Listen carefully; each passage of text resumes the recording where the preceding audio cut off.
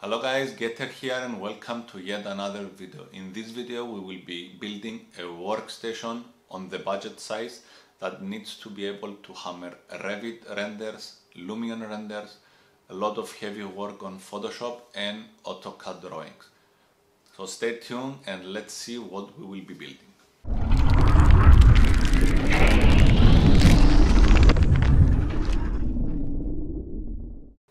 The main star of the show is the Ryzen 7 2700.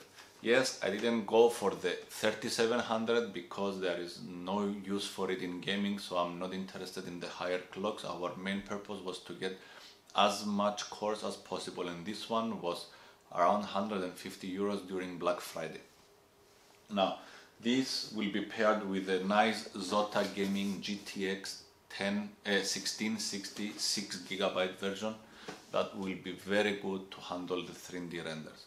This will go very well with uh, two sticks of 16 gigabyte um, each, 16 gigabyte each G.Skill Aegis uh, memory, which is at uh, 3200 megahertz. This will go on a Gigabyte B450M DS3H motherboard, no need for X470 or X370 or whatever.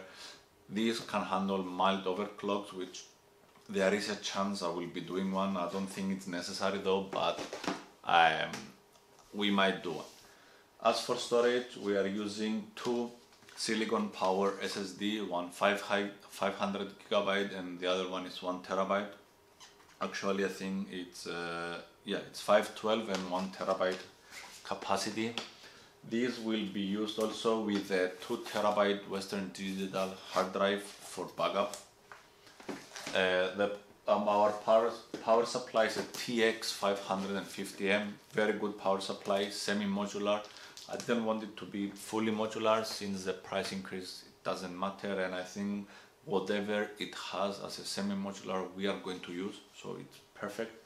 And this will go inside the Cooler Master Master Box Q300L if you watched my HTPC build guide you will see that I really love this case. It's a very small form factor case and it can fit everything we have here. It's amazing. Even in mine now I am using a GTX 1080 so it's pretty roomy for anything we want and I also we also have for this build an uh, generic Asus keyboard and mouse combo plus an LG 32 inch 1440p monitor that is very good for color accuracy and all these things. The, the LG and the keyboard you will see in the final part of the video when I will be using everything to light up and make it work.